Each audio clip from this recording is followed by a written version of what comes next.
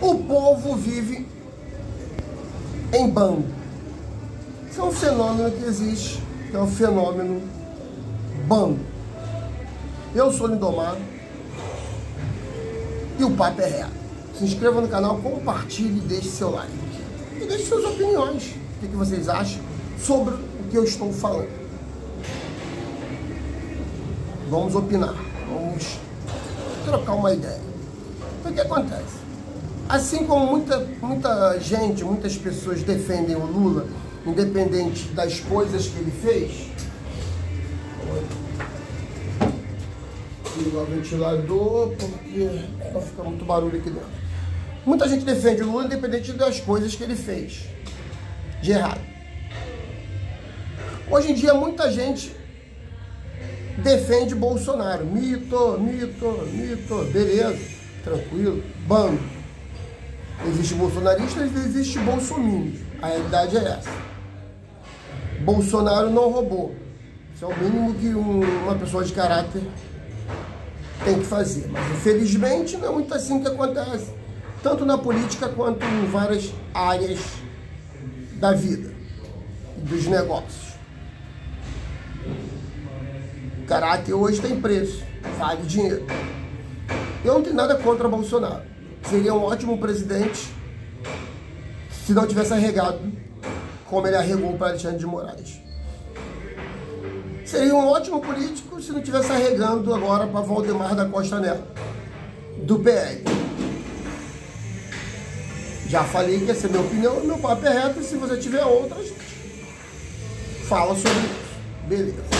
Sei que tem canais que tem um apoio incondicional ao Bolso Bolsonaro. Como eu sempre tive. Mas agora eu tenho minhas críticas. Porque a direita não pode brigar com a direita como a família Bolsonaro está querendo fazer. Porque a esquerda não briga com a esquerda. Eles são unidos. Mesmo que for merda ou que não for merda, eles são unidos. A direita quer brigar com a direita. Aí ela fortalece a esquerda. Bolsonaro, que não tem o Nunes como preferido, mas ele falou que perdeu aquela de braço.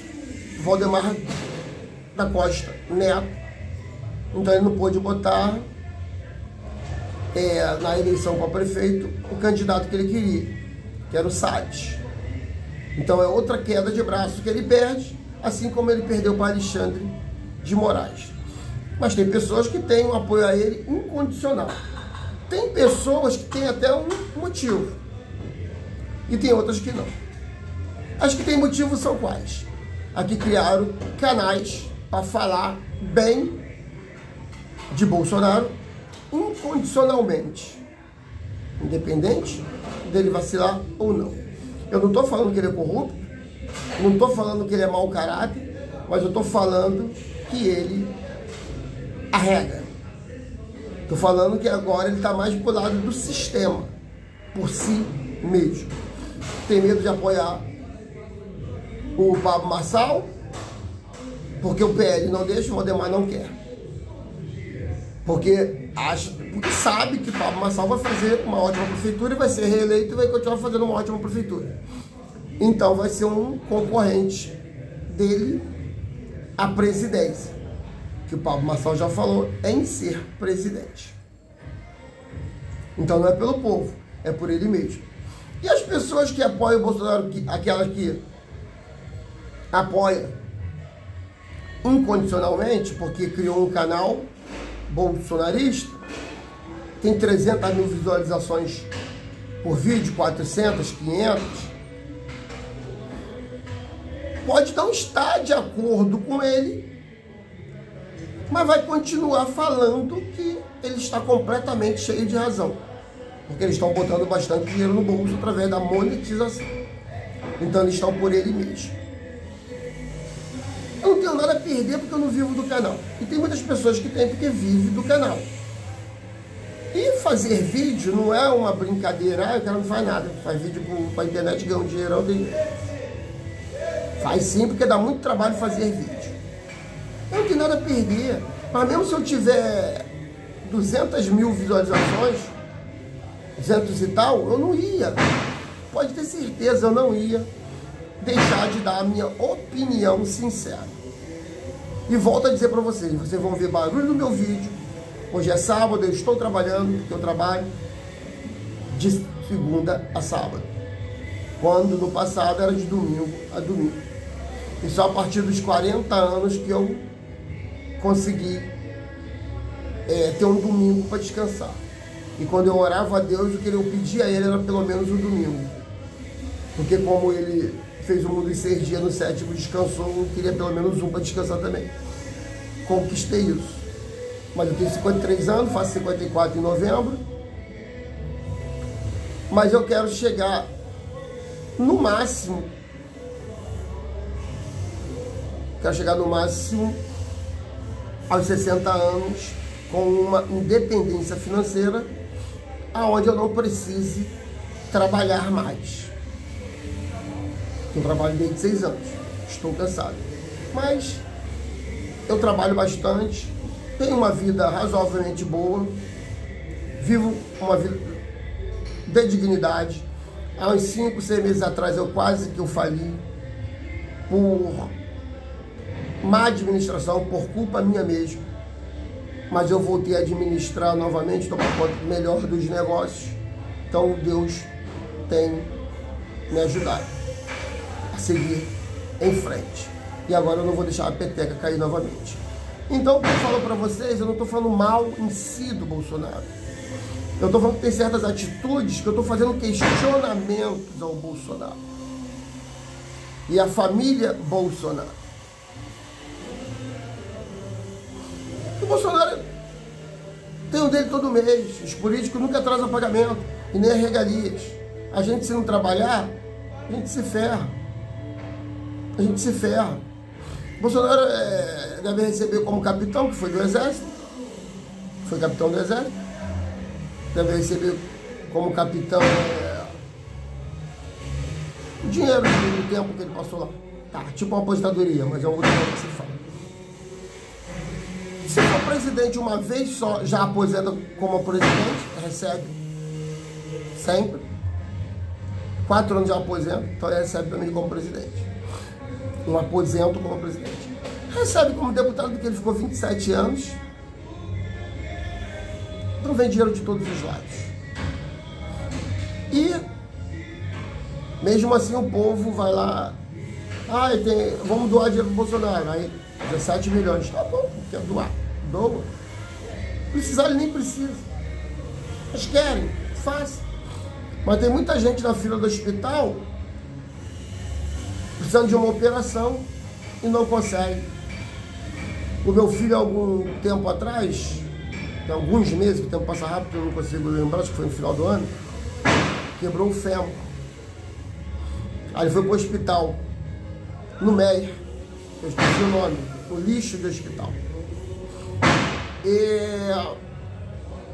Para fazer a operação no particular, era na casa de 50 mil reais não dava para fazer, então eu, e eu estava passando pela crise financeira de quase falência. Mas eu ia no hospital todos os dias. Eu perturbei todos os dias. Ali no médico, no médico, em frente, no Rio de Janeiro. em frente à linha do trem.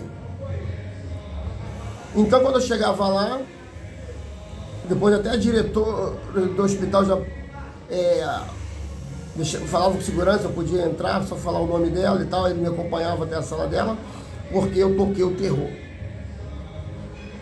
em prol do meu filho. Que nada eu fazia, não tinha materiais para cirurgia, não tinha isso aqui.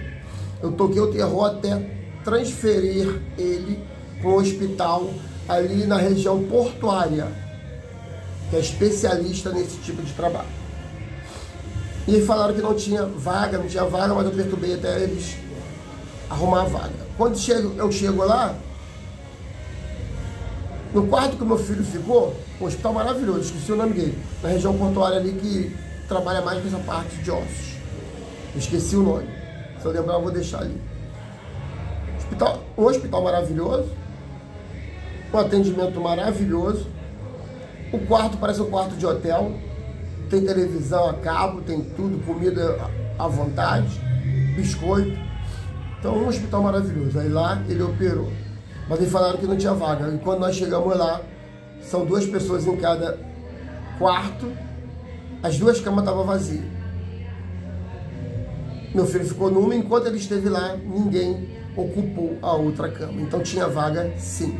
Mas se eu não tocasse o terror no hospital que ele estava antes, ele não teria sido transferido. Enquanto as pessoas doam para político, que recebe de todos os lados milhões e depois querem reclamar. Aonde tu chegou no governo Bolsonaro? Aonde tu chegou no governo Lula? Eu não sou pró-Lula. Eu até tava, votei Bolsonaro. Mas agora eu tô decepcionado, acabou. Eu não sei na próxima eleição para presidente, eu não sei quem vai vir como candidato. Para me falar, ah, é desse que eu voto ou é naquele que eu voto. Só que eu dou o papo reto, independente de, das pessoas ficarem com raiva ou não. Eu não sou manipulado. Eu não sou bolsominho. Eu não grito mito, mito, mito. Eu fui bolsonarista, não bolsominho. Meu partido é o Brasil. Não tem político de estimação. Esse cara sou eu. É o tipo de cara ou de pessoa que as pessoas não vão gostar, porque as pessoas querem que nós tenhamos as mesmas opiniões e que nós apoiamos, apoiemos um político incondicionalmente. Eu não apoio incondicionalmente. Se ele está fazendo alguma coisa que eu estou vendo que não está dentro do que eu acho certo, vai ter crítica. Não adianta. Não, não adianta, é assim que funciona. Eu não vou me vender ao sistema e continuar apoiando ele para não ter mais visualizações ou menos. Aqui o papo é reto. O papo é reto. Mas infelizmente o mundo é dessa forma. O, tem o movimento em bando. Tem é, mito, mito. Pô, pelo amor de Deus idolatrar político, qualquer um que seja, não. É, admirar se o político for bom, sim. Sim. Então tem esse efeito bando, como tem o efeito janela quebrada. Se tiver alguém botar um bocado de lixo no local, ou um entulho, todo mundo vai botar porque a mente fica mais tranquila, porque ali não tá limpo, tá sujo, então foda-se. A gente bota aqui mesmo, aqui já tem lixo. Isso já é um efeito janela quebrada. Vocês podem ver isso. Algum lugar, você tá limpo, tá limpo. Se alguém botar um bocado de entulho, já vem outro, botar outro, outro já vem outro, já vai um saco de lixo. E existe o efeito bando do povo em apoiar incondicionalmente um político, sem questionar coisas que a vida está fazendo, fugindo de quem ele era e se entregando e se vendendo ao sistema. Eu sou Lindomar e aqui o papo é reto. Então se inscreva no canal, compartilha, deixe seu like, deixe seus comentários de uh, acordo ou não. E a gente vai trocando uma ideia. E, e volto a dizer, porque aqui o papo é reto. E fim de papo.